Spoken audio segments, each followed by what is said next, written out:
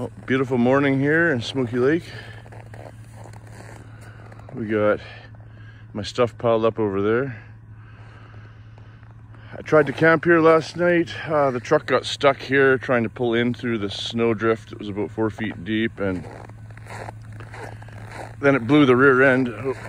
So it's limping around, but then I had to carry everything down this trail.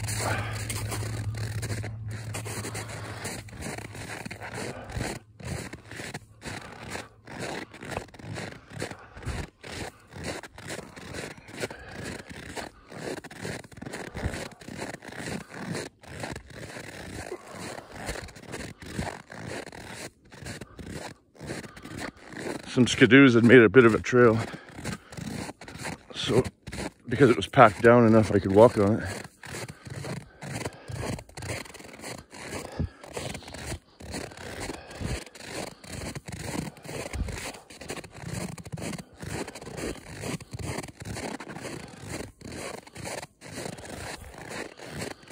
So it's a bit of a hike carrying everything in.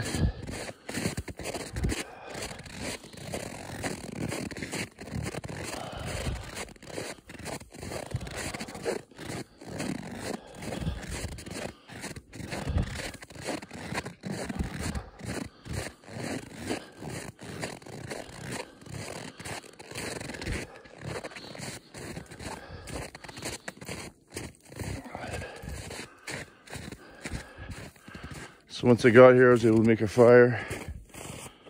Had the generator set up over there. I had wood and stuff. Shane and Bryce had put away from me over underneath the canopy. Uh, and then inside the tree fort, I had the loft up top, place to cook. Overall, it wasn't too bad.